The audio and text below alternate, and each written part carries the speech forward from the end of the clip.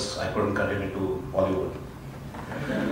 Um, so here we are, right? I mean, so I'll just share a couple of points before I get into the presentation. Um, so in a lot of what we do, we easily overlook the fact that you know uh, the respondents who provide a great source of market research insights and information to us are in a, in a big way uh, the very customers or the consumers, whatever you call it, respondents, panelists, as we refer to in our many industry, um, they are a big part of our customers. I mean, delighting them, making it easy in terms of efforts for them to share their opinions with us is something um, that's close to what we do in data collection industry and uh, indirectly it's also important for you guys as market researchers and analysts.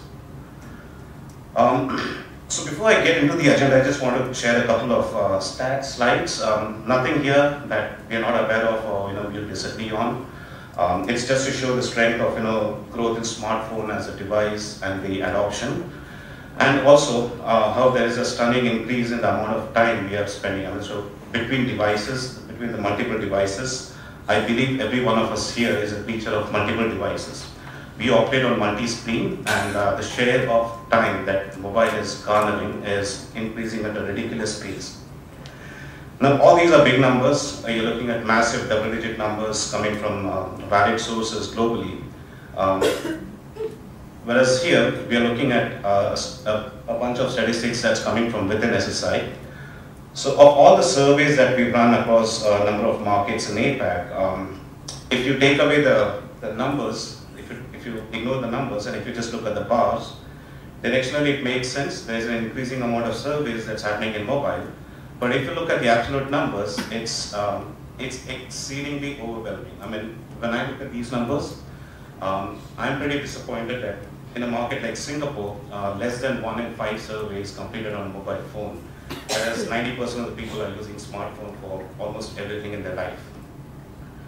Um, now there is a there is there is a clear reason why this is happening. I mean, um, I would say by far mobile is punching way below its weight when it comes to its contribution in survey taking for uh, respondents.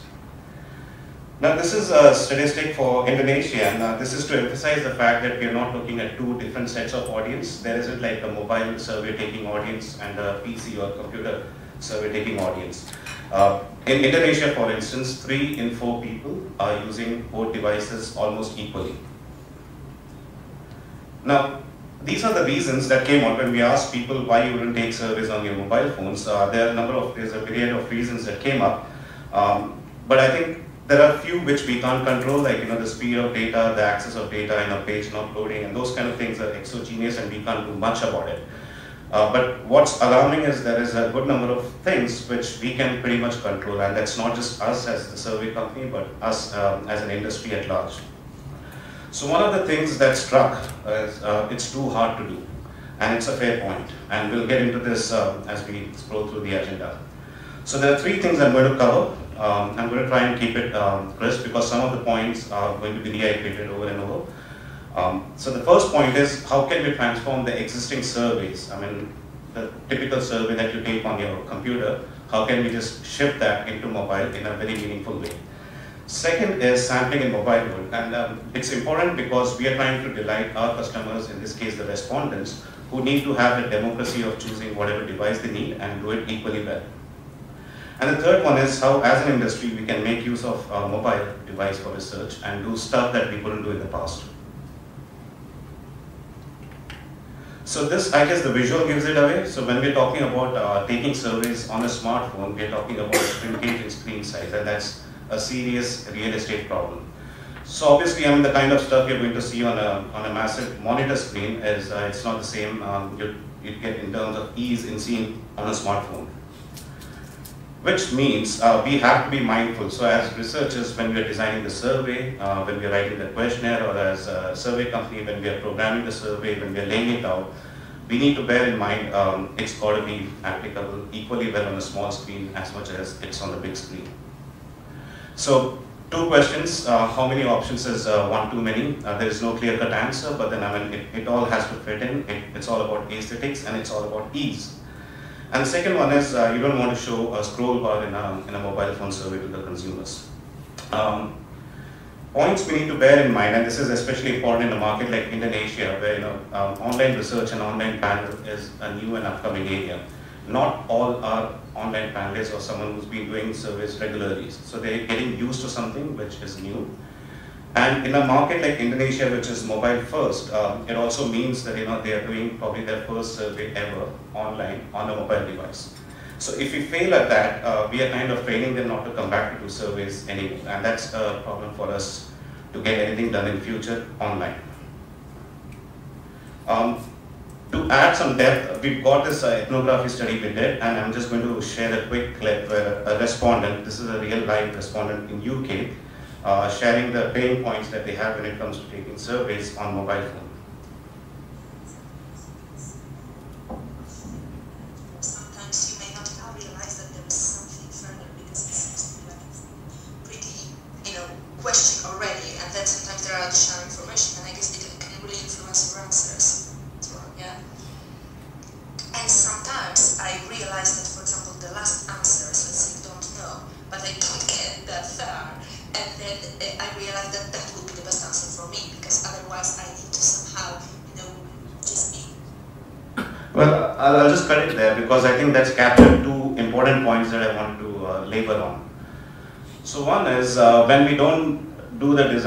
Keeping in mind the multiple devices and the reality of the world we are in. One, uh, it's there is a claustrophobic amount of content on the screen and it's all clustered and it's cluttered. So you don't get to see all the whole uh, entire content of the survey. And in a self-administered environment as online, it's absolutely essential that you know the information and the instructions are out for every respondent to read and comprehend. And the second and the more dangerous um, um, attribute that comes out of it or a behavior that comes out of it is people gravitate towards convenient answers. Um, which is fair play on the respondents if they're struggling on a smartphone, you know, they can't scroll, but then it means it's going to distort the data and it's going to have an impact on the data quality. And we're not talking about fraud, this is a design flaw. Now, I mean, um, sticking to the example of grid and scales, which is generally the most complex part in the, in the normal surveys. Um, now, mean, the it appears on a PC, um, we can do two things, right? I mean, so one, we can do nothing, which means it's going to continue to appear cluttered like this and get even worse when we move to a mobile screen. Or we can look at a mobile redesign, and this means uh, making it sharper in terms of one, uh, the words, the instructions, and just laying it out in a different way. Now the implication in doing this is, while this is from a technical standpoint, it's all doable. I mean, as an industry, we move towards device agnostic survey, where you know, by the technology itself, we make sure the surveys are com compatible and optimized for whatever device. But then we still rely on the content itself. I mean, we can't have 20 or 30 option grids, uh, which, you know, it doesn't matter how you optimize, it's not fit for a smartphone. So it means reducing on uh, the content length. It also means, I mean, we can't be running those uh, 25, 30, 45 minute surveys. And believe me, I mean, 40% of the work we do is, uh, even though it's 40 minute surveys, you know, a commonplace in, in our industry. Now, just to recap that, I mean, um, once we redesign, obviously it's a no-brainer. I mean, the respondents find it more enjoyable. Um, ease, like I said, that's a key, right? I mean, all we need is honest answers from respondents. And in getting that, we need to make it as easy as possible for them to share their opinions. Um, there is less drop-off, and we've got the stats supporting it. So we've done all kinds of uh, variations to study what has what kind of impact. And uh, obviously, the speed of getting things done is also a, a factor in this. Now, so one basic mantra, and uh, there's one takeaway from this section, is whenever we design a survey, I think we should start with the smallest device and then work our way upwards. So all practical um, pointers here, like reducing words, using bigger functional objects, you know, avoiding scrolling, and move away from lengthy, cover it all kind of surveys and you know, keep it as sharp and focused as possible. Now these are all things that are implementable. Um, the technology is there, I think the awareness is there, it's just the intent, which uh, we are still not there and we just don't do enough of it. So this forms um, what I call as the first click of a vicious uh, circle. I mean, so this is a case where we've got participants who want to do surveys on mobile, but we are effectively turning them away. We are training them to say that, look, surveys are not meant for mobile phones because they're too complicated, they're too complex. And this in turn means we are going to sway them away in the future as well, and uh, we are not going to have enough participation. The second point is about sampling in uh, mobile world, and I'll keep this very short because it's something which is already being practiced, and that's more for us as the data collection providers to uh, follow through. The broad couple of points here being, uh, when we look at people who take surveys on different devices, uh, there is a gap in terms of demographics, um, and understandably. So mobile is skewed more towards a younger audience, uh, whereas the traditional device is more towards the older demographics. Um, now, that, well, that can be, uh, uh, you know, through quotas and through uh, uh, stratified sampling, we can overcome that. There, there are also attitudinal differences when we look at people who are taking a survey on a mobile on a regular basis versus people who claim to a more traditional uh, way of taking survey on the PCs. So, out of uh, 11 random points that we picked um, here, there are three of them. Um, so, visited a museum, as you can see the line in red indicates that uh, there is a higher traction among people those came and took a survey voluntarily on a PC. And that's understandable because it may be traditional if you, if you call it, and uh, that suits uh, that demographics. Whereas clearly buying a smartphone um, and uh, smartphone related activities is more prominent for people on, um, on a mobile answering the survey. the third one is what uh, strikes out as interesting because it seems like a blip where you know we, we're looking at there's no real good reason why someone taking a survey on mobile uh, should be spending less time researching a product online. And uh, one of the points here, we then got into a deep dive. We went back to the people and asked them what their interpretation of that uh, point was. And they said when you say researching a product online, uh, by default we are tuned to think it's computers. Um, whereas the phrase that we would use is I looked up for something on my phone. So that was um, insight which we, uh, we didn't realize when we were constructing the questionnaire.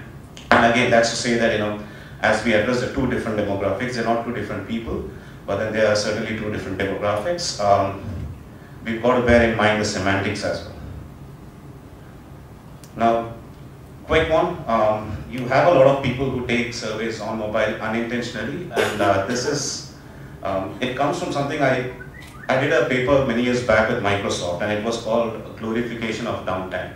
So typically if I'm waiting at a bus stop, I have 10 minutes to spare before the bus comes. Uh, those are the times which are getting glorified. I mean, that's a space where, you know, your Pokemon and your gaming uh, apps are getting into and no reason why, you know, it's not a great time for someone to do a survey. Now, in doing so, it means they are trying to do whatever they can on their mobile phone, and it means um, they didn't plan to do the survey on the mobile, but it's more convenient when uh, they can.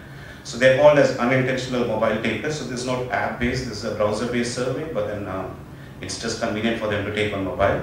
And we can't alienate them. We can't make it difficult for them because the more we do that, the more, uh, the less inclined they will be to come back. And we'll also be cutting out as we saw on a clear demographic which has uh, certain attitudinal differences and you know we'll be skewing it towards uh, one particular group versus the other. So sampling in the mobile world, can we do it? Yes. Um, it's definitely not hard to. And um, again, there is no mobile universe. Like I said, I mean, everyone uses multiple devices. Uh, so it's just to make sure our coverage is comprehensive. Um, by design, yes, we can. But again, I mean, uh, there are some limitations to it. I mean, it all depends on the content and the length of the survey itself. Now, one, um, uh, one trend that's been in the rise in a very interesting world of survey is uh, getting apps to do surveys. And um, the beauty of it is the app lets you do a lot of different things, a lot of nifty things like, you know, diary studies and, you know, a bit of online call um, and all that stuff. Uh, but then it's, it's also difficult to keep people engaged on an ongoing basis because, I mean, I look at my phone, I'm not even a smartphone savvy person, and I've got 100 apps, 90 of which I have no idea why they are. So would I need a 101st app on my phone? Um, it, it has to have a solid proposition, which means there's got to be constant activity, it's got to be engaging, and it's got to be something that's fun. I mean, no one uses smartphone for mundane and boring stuff the idea is if you're using phone for something outside your basic needs, it's got to be fun, it's got to be entertaining. So with that, we come to our uh, vicious circle number two. So there are potential, uh, uh, there is a potential for people to work with market research, survey apps. Uh, that's so again um, another thing I need to explain is we always tend to think that people do it for incentives, which is partly true. Uh, but most of the people that we asked uh, do it because they just love uh, sharing their opinions. And these are the kind of people who you'll also find on social media voicing out their um, you know, reviews and their, you know, whatever comments they have about a product or a service. So it's just in them to share their opinions and that's what we thrive on. So we need to make sure we, we capture it in a meaningful way and not dissuade them from participating in survey. So an example here, this is a vicious circle that we are living in. You know, we get people to download the app. It takes a lot of effort, marketing, and get them to the app. Now they wait for a survey, and the first survey that comes their way is a 40-minute grid-filled survey, and it's a horror. And that's it. I mean, you've lost a respondent for good, and uh, probably they're never going to attempt any other market research survey. Now, third part of my agenda, this is uh, the interesting one, where we're talking about, so one is moving what we're doing, the vanilla kind of surveys from you know online web to mobile web. The second one is uh, it's all about you know making sure the sampling wise we are covered and we are getting uh, both kinds of people and we're not skewing it one way or the other. Third one is obviously if you get the first two right, uh, it gives us an access to research on mobile, which has been talked about. It's been discussed, I think, at every market research forum that I've been to. Um, of course, there are logistical challenges, but then it opens the door to a whole lot of new stuff we could do. An example, easy example is in the moment research. So we do a lot of research where we ask people, uh, what did you eat for breakfast, I don't know, 10 years back or something like that.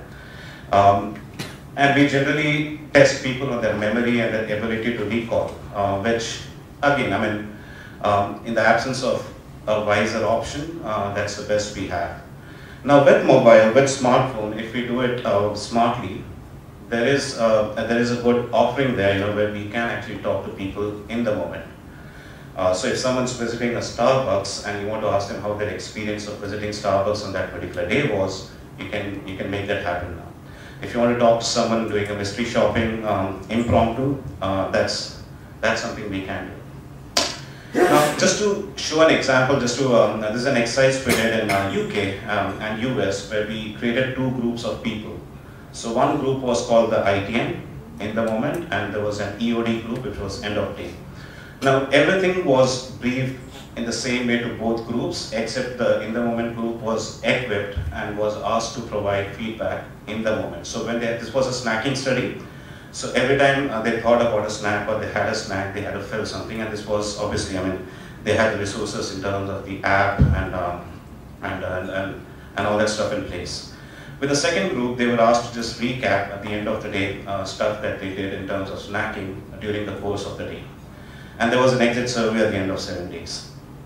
Now, what came back is, um, what's interesting about these results is, there was a higher participation, there was a higher um, engaged participation uh, by the first group, which is in the moment, versus the second group. And that's a broad point here, um, which tells me that you know people are willing to participate in, in the moment surveys. So it's not like people are saying uh, seeing it as an interference.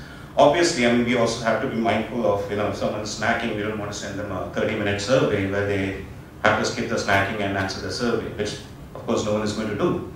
Uh, but if we do it properly, if we execute it, people are willing, the willingness is there, it's up to us on how we make it happen. And obviously, I mean, uh, from a results uh, perspective, I mean, the recall, like I said, if you ask me what I ate for breakfast a week back, I might struggle to recall. But if you ask me what I had for breakfast like a couple of hours back, I'll have a pretty good recall. And that's exhibited in the in the numbers when we look at you know the average recall, you know, snacking related uh, recall rates that we're looking at. Now, diary studies have always been there. Um, it's just that with the smartphone and with the technology uh, development, there is a new and a more improved way of doing it in a, I don't know, there are a lot of nifty things we can do. For instance, there's something that's an experiment going on in the US where you can look at, you know, your phone can hear what you're watching on TV and based on that, you know, there could be a survey that gets sent to you. So this is an example of Indonesian news, the Metro TV news.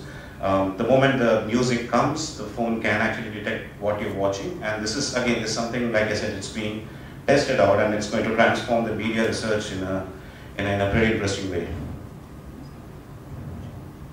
Now, obviously, I mean, um, there is that creepiness uh, that comes with smartphone and digital uh, tracking. So obviously, I mean, once you have that, you can track people exactly where they are. So you can do geofencing projects. Um, now this is an example of uh, our Australia office. Um, this is, so on the, on the right side here is our Australia office, and on the left here is an adult bookshop. The problem with geofencing, again, um, it's there as a technology. We're using it in uh, markets like US and UK where you have space out stores like IKEA or you know uh, big electronic stores. But then, then you, you look at an example like, you know, this is Sydney or Hong Kong or Singapore where you have clustered and you know you have crowded malls. Uh, there are certain uh, challenges that we are up against. You know, so in this case, uh, geofencing is accurate plus minus 10 meters. And here 10 meters can make a difference between an SSI office or an adult bookshop. But I mean, having said that, there are workarounds and there are a lot of things uh, that's up and coming. And if we encourage our respondents to use mobile phones liberally and without any hesitation, uh, those are the areas we can extract and we can exploit. Now, obviously, when you get someone to answer something in the moment of truth, and especially for you know, customer satisfaction or customer experience surveys, um, it's got a much more powerful resonation when they when they respond versus if you ask them after I don't know a month, a couple of months. And obviously, you can do a lot of in-store um, in-store um, consumer insights, consumer opinions, like you know whether it's the store's location, the condition, the purchasing habits, or you know even uh, promo testing. So these are these are things which um, we have struggled traditionally. Um, from a technology standpoint, we are there. Um, there are logistical challenges, but then again, I mean, it's it's always a case where we keep improving as as time time and technology improves. So if there are five things I wish uh, that you know we as an industry um, in data collection had known a year ago. One, um, in the moment isn't always in the moment. I think we also need to be mindful of uh, what kind of activity people are into. So if someone is um, in a hospital and we want to do an in the moment survey, probably not such a good idea. Um, again, like geolocation, I, as I exhibited, it's um, it's there, but then again, it's got its challenges and limitations. So you have to look at the market, you look at uh, what kind of stores and what kind of outlets. Um, we have to be we have to show empathy in terms of mobile survey takers. We've got to speak their language. Uh, we can't exclude them, so we need to be mindful of the fact that people could do the survey on either screen, and uh, our survey shouldn't have any ambiguity around that. And of course, I mean, uh, if we can exploit the use of mobile phone um, apps and in a mobile survey taking, there is a lot of rich content we can bring into the otherwise boring survey. So we did this, um, we did this project where we worked with a video response technology company and instead of capturing verbatims in text, we got people to actually record a video and share their open-ended comments about things. And generally, even if it's uh, 5 out of 100 responses we get in video form, when clients look at it, they get far richer insights and it just blows everyone's mind because it's quality data and it's, it's real consumers who are talking back to your brands. And of course, I mean, once uh, we start harnessing the power of smartphone and mobile-based uh, survey, uh, we can uh, diminish the paradigm difference between quant and qual. Uh, we can start doing a whole lot of things, um, like you know, getting people to capture videos and photos, and you know, even mobile ethnography studies. So this brings us to the last vicious circle, which is, um, I think, the capability is there. Um, we need to work in tandem as market research agencies, consultants, um, buyers of market research, and providers of data. To summarize, um, using mobile device to conduct a standard service, I think from a capability standpoint, it's there, but we are just not doing enough. Sampling in mobile world is something we are doing, and it's, it's very much possible, it's not a hindrance using mobile as a device to do uh, more nifty research or future and forward-looking research um, is something we could do better. I think it started in, uh, in the developed markets. But I, I wouldn't be surprised if it hits Indonesia, which is, like I said, a mobile first nation in a big way in the next, I would say probably max two years. And that's, that's about it. I mean, so I think uh, there's a lot, there's a lot more uh, that could happen um, in terms of, you know, at an industry level, at a, at a technology level. Um, our CEO calls our company a technology company. He hates to be uh, bracketed as a market research survey data collection. He thinks it's too boring and it's too, it's too um, uh, parochial. And in that, participant experience is the key. I mean, the, the day we start pissing our respondents off is when we go off business. At least we'll go first and then uh, probably some of you will follow. Um, from an industry perspective, I guess it's imperative that you know companies like us come forward and educate and share this. So this is something I encourage my team to do a lot, to speak to the clients and you know push back when need be. Um, again, finding new places in terms of technology, in terms of avenues where we can uh, extract more value from market research at, uh, at, a, at a decent pace, you know, where we don't lose out on, um, on, on, on the number of uh, surveys we do, but then we just do it differently and get more value out of it. And again, we've got to be bold and try. I mean, unless we try, we'll never know. Um, that's, that's a challenge that's up for us as agencies. Again, there are times when we get conservative and we are hesitant to try. Uh, but I guess again, uh, we need to work in tandem and understand. So that's it from Singapore. Thank you.